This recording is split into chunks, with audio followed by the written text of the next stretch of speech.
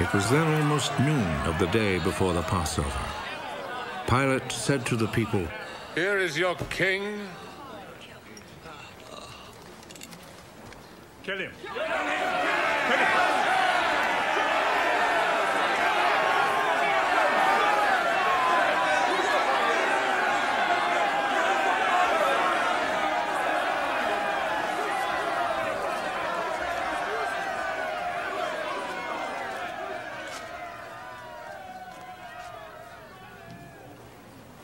Do you want me to crucify your king?